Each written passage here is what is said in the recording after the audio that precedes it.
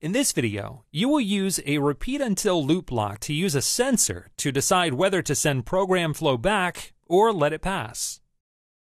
Start by opening the Move Loop Count sample program linked to the right of this video. Grab a repeat until loop block from the program flow section on the left. Drag it into your program and drop it onto line 1. Now click and drag the forward and backward commands from the repeat loop block and drop them into the new repeat until loop block. In the first box of the repeat until loop block, choose distance sensor. Get distance value. Set the second box to less than.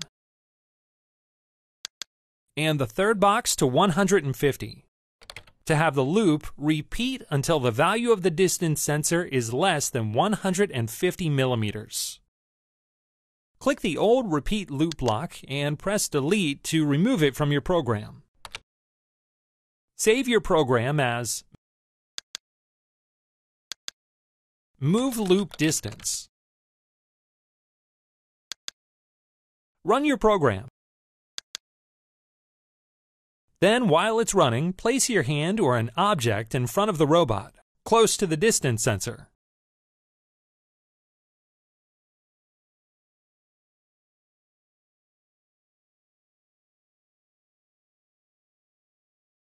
The robot stops.